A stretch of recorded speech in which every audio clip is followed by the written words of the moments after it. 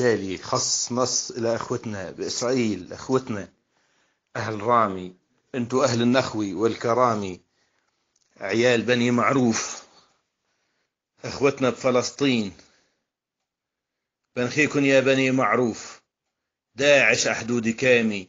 من ذلينا من ألوف سنين مضت وأعوامي لنرجع عرضنا المخطوف بفزعتكن يا هالرامي قلوبكن ما تعرف الخوف. انتو ربع الشهامي جدودكن حمالة السيوف وانتو حفظتوا الكرامي. دم السويدة صار منزوف. دم السويدة صار منزوف. قتل وذبح وإجرامي نحن نركع مش مألوف. بعونة الله وإمامي. يا أهلي يا عزوتي يا ربعنا آه أنتو أهل الشرف أنتو أهل الكرامي. نحن بحاجة دعمكم نحن عندنا مخاطيف نحن هذول عرضنا هذول شرفنا.